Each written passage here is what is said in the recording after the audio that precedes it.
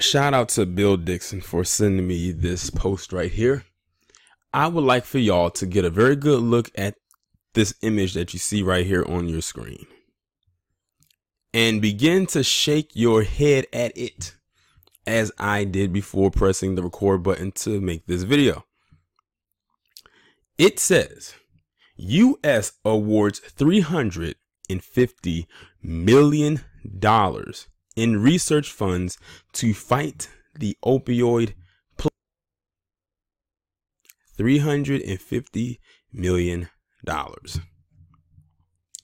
Now, how long have black people or ADOS, whatever you want to call it, been saying that we are owed reparations for the atrocities that our ancestors have had to face since being imported to this establishment.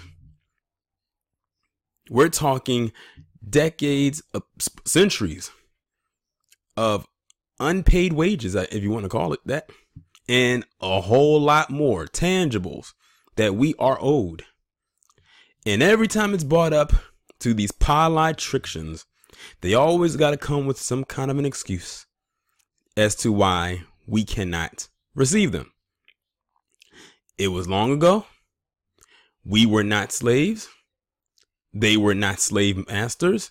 Although, in some circles, if you read between the lines, some descendants of the slave masters have received reparations. Hell, slave masters, when slavery was in- ended, well, chattel slavery that is, received reparations for loss of property, namely our ancestors.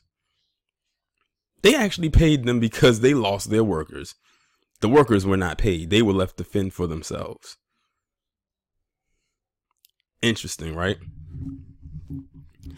Or another one the country is so broke, the establishment is flat broke.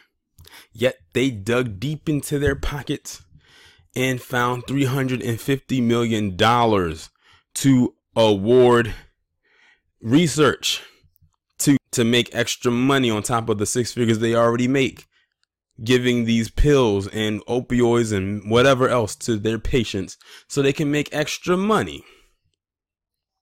Black people, I now can, we have now moved down another tier because you know there's tiers to this thing. So you have white people with white men being first and then white women. Then you have probably the Asians if you want to talk about financials. And that can go for Asians that were born and not born here. You have the Hispanics, the ones who were born and not born here. So that means you have also documented and undocumented immigrants because they also are funding DACA as well. Remember, Kamala Harris said that she wants to get Congress jobs for members who, for people who are part of DACA, meaning Im, uh, immigrants that were not even born here and probably are here illegally. She didn't think about us, which baffles my mind as to why anyone would black would support her. But okay, I guess. Then you have us, where in most circles, black women would be above black men. But now we have another tier because now we've moved down a little bit more because now they have to put the opioid users. That's almost another tier in itself. Now, I highly doubt that there was this much funding for when black people were going through the crack epidemic back in the 80s and 90s. And those drugs were dumped into those neighborhoods by the government.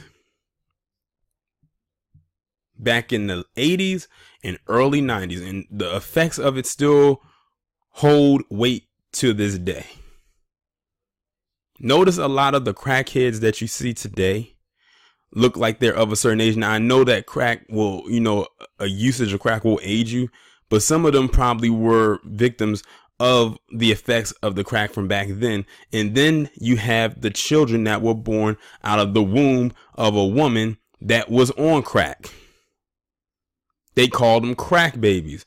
And we still have not come up with a term to call the children born from the womb of a woman who's on meth or various other opioids, but we've thrown out some ideas. but none of them really have stuck to the wall, if you get what I mean.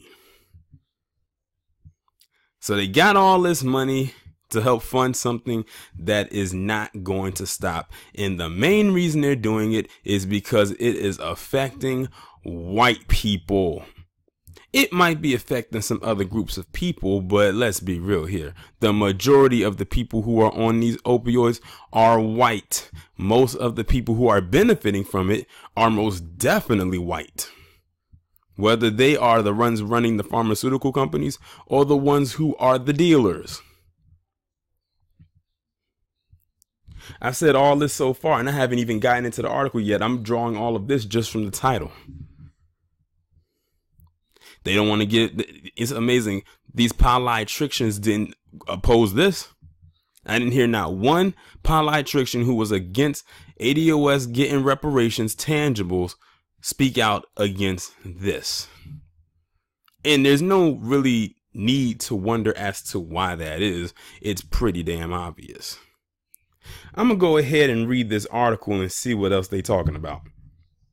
U.S. health officials are giving $350 million to researchers in four states hit hardest by the deadly opioid plague. Now, listen to that four states. Only four states. I bet you Ohio is one of them, but let's see if they if they'll list them. The study announced Thursday aims to cut overdose deaths by 40% over three years in local communities grappling with misuse of addictive drugs. Researchers will study evidence based techniques for fighting addiction and overdose, such as medication based treatments like methadone and criminal justice reforms. The grants from the National Institutes of Health will go to the University of Kentucky, Boston Medical Center, New York City's Columbia University, and I guess correctly, Ohio State University. Government officials across the U.S. have been fighting a multi-decade epi- I'm sorry, epidemic of opioid addiction, which includes not only prescription painkillers but also illicit drugs like heroin and fentanyl. Deaths linked to those drugs rose to a record 48,000 in 2017. Oh, boo fucking who, but I knew that Ohio would fall in there because, like I said before, if y'all are new to my channel, that doing these opioid stories is actually one of the ways that my channel blew up. And Ohio was always usually the one that was the the main I guess you could say hub. I always call Ohio the hub for heroin or the hub for opioid overdose, the the plague and whatnot. It's basically the proxy. You know how like whenever Lane Street media likes to say stuff about black on black crime, but they always like to mention Chicago because they're using Chicago as a proxy. Ohio is a proxy, but in a way, it kind of speaks for itself because the numbers are definitely there. And these are affected in white areas, might I add. Now we know New York is a mixed bag, but it's affecting the white residents. Ohio is a mixed bag, but it's affecting mostly white people. Kentucky, Boston, straight up white.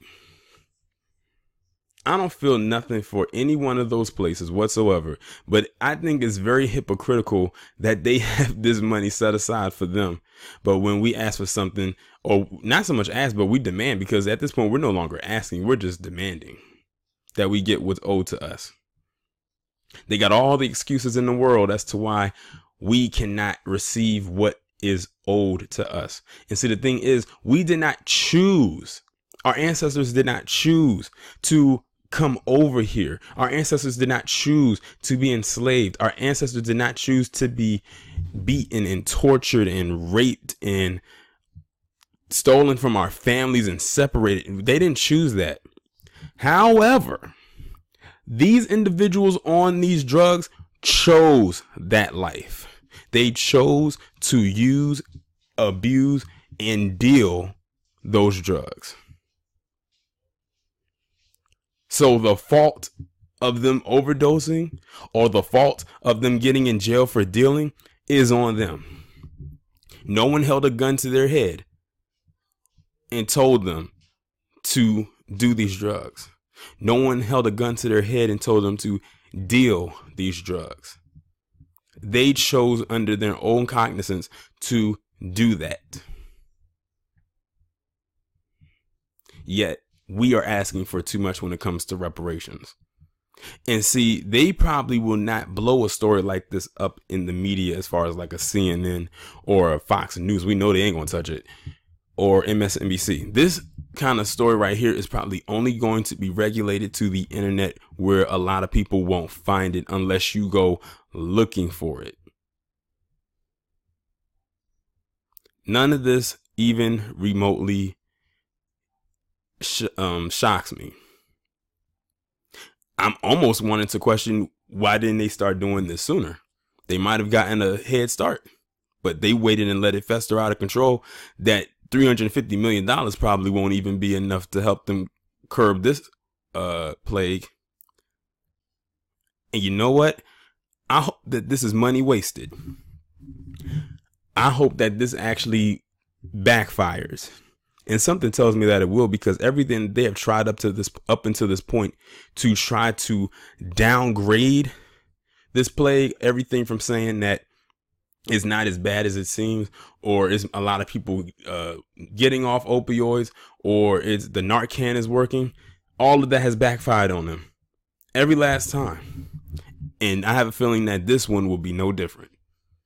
And the one after that will be no different. And the one after that, and the one after that, and the 10 that come after that. So I think that they are wasting their time.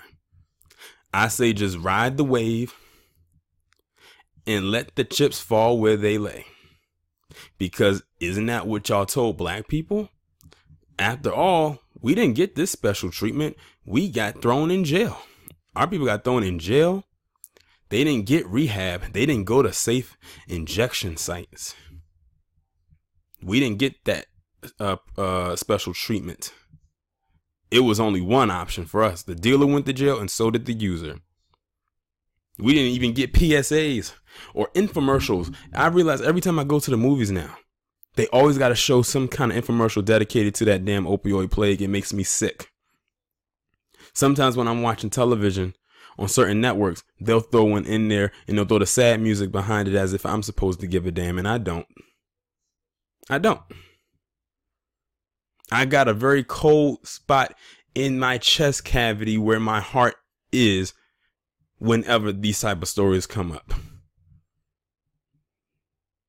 So damn cold. a damn the damn dragon off of Game of Thrones couldn't knock that down. Those of you who watch the show know exactly what I'm talking about. But good luck with their uh, research funds. I mean, I don't think y'all are going to get much out of it. They didn't really give them a deadline either, so that shows you right there that they don't know how long this is going to take. They are going to blow through these funds trying to trying to fix this thing. Even though there have been numerous articles and studies put out there saying that this plague is not going anywhere anytime soon as far as it fizzling out. The crack epidemic, however, did fizzle out eventually. You might still some people still doing it, but it's not as heavy as it was. And they took the concerted effort to put those drugs there. These drugs, they went in search of those and they can't get off of them for shit. And you know what's so funny? When I was doing the, when I started doing these type of stories, I'm thinking that this was a time when the drugs were on the rise. But that wasn't the case. They were around already for a minute. For years before I started doing commentaries on them. It's just that now it became more popular to talk about because it got out of control. They thought that they could control it and they could not. Well, I think it's too little too late for them. I don't care how much money they throw behind some research to try to uh, get this down. It's not going anywhere. And you know what? As long as it stays in their community, I hope it doesn't leave. Y'all let me know what you think about this down in the comments, and I will talk to you in the next one.